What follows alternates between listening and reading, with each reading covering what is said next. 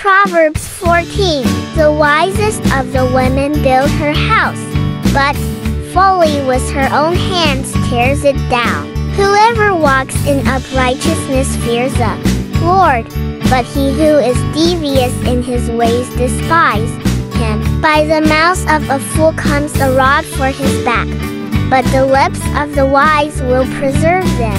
Where there are no oxen, the manger is clean, but abundant crops come by the strength of the ox. A faithful witness does not lie, but a false witness brings out lies. A scoffer seeks wisdom in vain, but knowledge is easy for a man of understanding. Leave the presence of a fool, for there are four. There you do not meet words of knowledge. The wisdom of the prudent is to discern his way, but the folly of fools is deceiving. Fools mock at the guilt offering, but the upright enjoy acceptance. The heart knows its own bitterness, and no stranger shares its joy. The house of the wicked will be destroyed, but the tent of the upright will flourish. There is a way that seems right to a man, but it ends is the way to death. Even and laughter the heart may ache, and the end of joy may be grief. The backslider in heart will be filled with the fruit of his ways, and the good man will be filled with the fruit of his ways. The simple believes everything, but the prudent gives thought to his steps. One who is wise is cautious and turns away from evil, but a fool is reckless and careless. A man of quick temper acts foolishly, and a man of evil deceives is hated. The simple inherit folly, but the prudent are crowned with knowledge.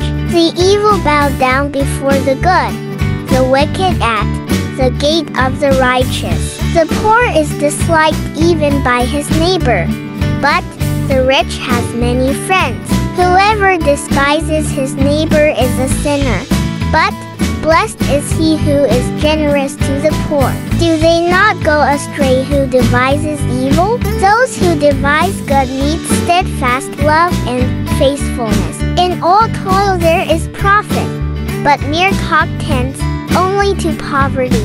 The crown of the wise is their wealth, but the folly of fools brings folly. A truthful witness saves lives, but one who breathes out lies is deceitful. In the fear of the Lord one has strong confidence, and his children will have a refuge. The fear of the Lord is a fountain of life, that one may turn away from the snares of death. In a multitude of people is the glory of a king, but without people a prince is ruin. Whoever is slow to anger has great understanding, but he who has a hasty temper exalts folly. A tranquil heart gives life to the flesh, but envy makes the bones rot. Whoever oppresses a poor man insults his maker but he who is generous to the needy honor him. The wicked is overthrown through his evil doing,